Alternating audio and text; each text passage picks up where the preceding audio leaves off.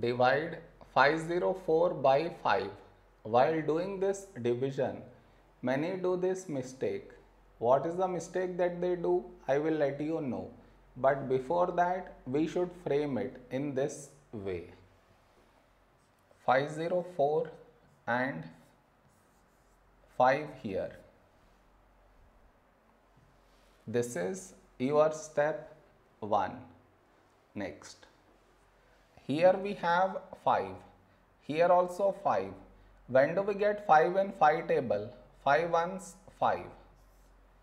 Now we should subtract 5 minus 5 0. After this bring down the beside number. So 0 down. Now here we have 0 and here 5. 0 is smaller than 5. So we should bring down the second number. And the rule to bring down the second number is we should put 0 here. Then only we can bring this number down.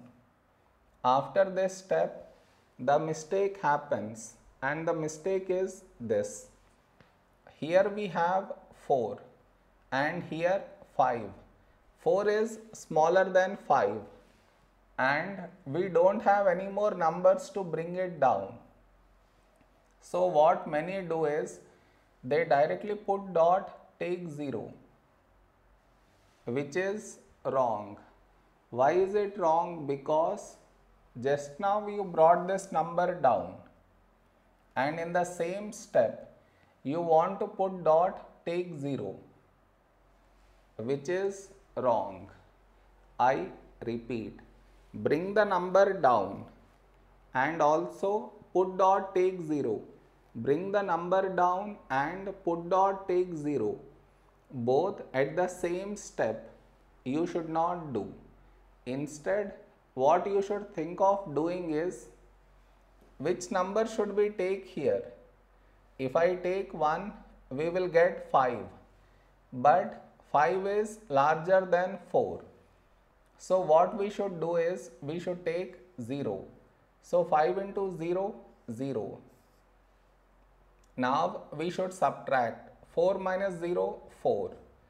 Over here we did not bring any number down and 4 is smaller than 5. So now we can put dot and take 0. So 40, when do we get 40 in 5 table? 5 8s 40. Now we should subtract, we get 0. This is our remainder and this is our quotient. Did you understand where does the mistake happens? You should not do that mistake.